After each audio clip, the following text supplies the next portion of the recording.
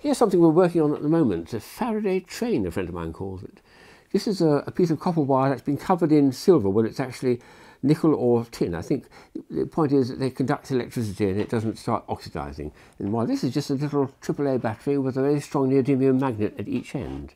And when you put it in the coil, it's, there's going to get a dead short between the, between the positive and negative.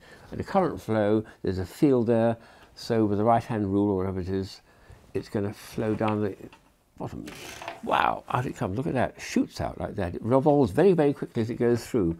Apparently it works better still. I haven't yet tried it. What with, this, with little tiny neodymium iron boron spheres. I'll try and get one of those as well.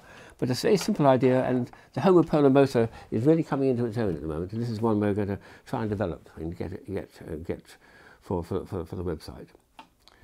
Faraday train. Wow, look out for it.